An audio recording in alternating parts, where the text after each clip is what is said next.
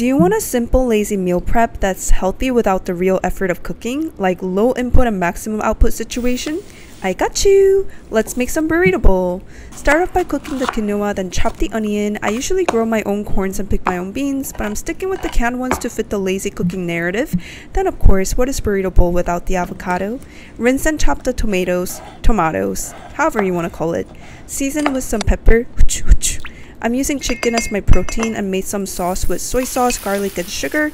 Now we're gonna butter up the chicken and let it bathe in the sauce until it turns golden brown and delicious. By this time, quinoa is gonna be fully cooked, so drizzle a dash of oil to prevent sticking.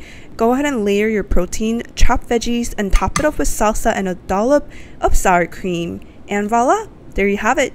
The best part is so delicious and nutritious, and it will feed you throughout the week to help you forget the pain of your 9 to 5 job. You're welcome. Mm.